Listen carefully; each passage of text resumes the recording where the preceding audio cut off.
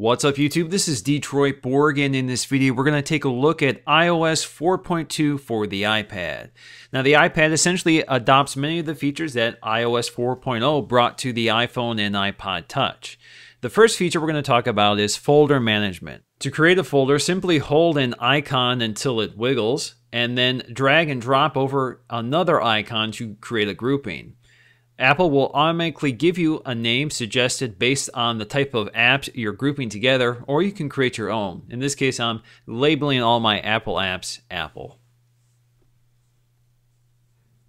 Now, if we look over at my iOS 3.2 iPad, you can see I had eight pages of apps. But with foldering on iOS 4.2, I've been able to reduce that to just one page. It should be noted that foldering on the iPad supports 20 apps at a time, while foldering on the iPhone and iPod Touch only supports 12 apps. iOS 4.2 also finally brings multitasking to the iPad, so if you double tap the home key, you'll see all your suspended apps and you can scroll through them and select the ones you want. Uh, unfortunately, many of the iPad apps do not support iOS 4.2 at the current moment, so for example, Angry Birds will not suspend properly.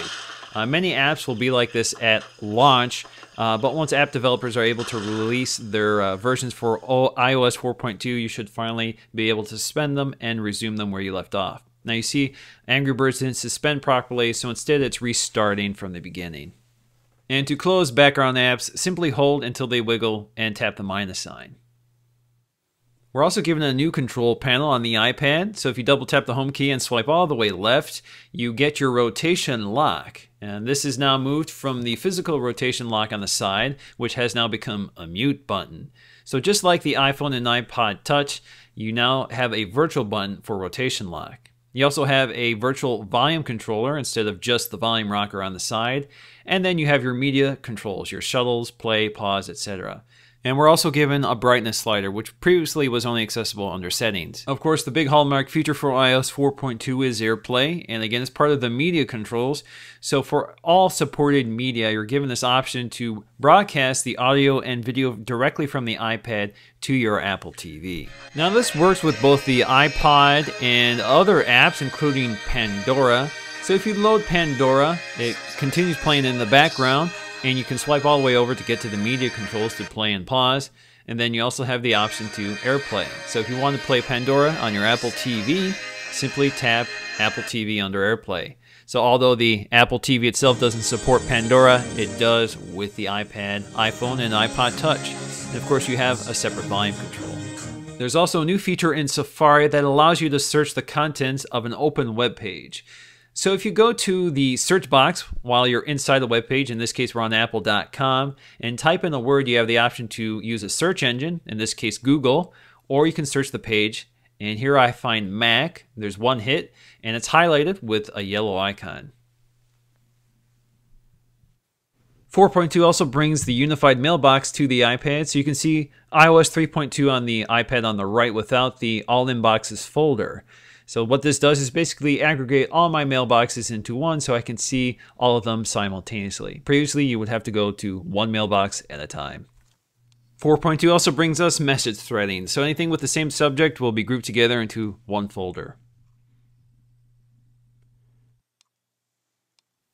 4.2 also brings the Game Center to the iPad, which has been available on the iPhone 4 and the iPod Touch. And you can see the experience is a little more graphical and animated this time. Now let's go to my request. I see I have four pending requests, and let's go ahead and accept those.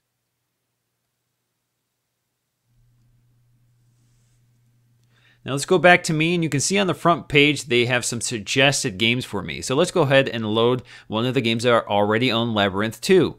So it takes me right to the app. Now if I go back to Game Center and try to load a game I don't own, instead it takes me to the App Store to purchase the game. Now let's go to the games I currently play through Game Center. One of them is Angry Birds. This is the version I play on the iPhone, not the iPad. But if I go to Farmville, which is the version I do play on the iPad, I have the option to play directly AirPrint is the other hallmark feature of iOS 4.2 and it's baked into the apps that were updated with iOS 4.2. So that includes Safari and the Photo app. So in Safari, if you select the send icon and select print, you have the option to select your printers on your local network and select how many copies you want. And now here we are in the photo app. And again, you can select print from the send icon. This feature will become available in other apps once they've been updated with the release of iOS 4.2, including the iWorks apps. Once again, this is Detroit Borg with a demo of iOS 4.2 for the iPad. Once AirPrint and AirPlay become fully functional, you can expect more demos. Please stay tuned and thanks for watching.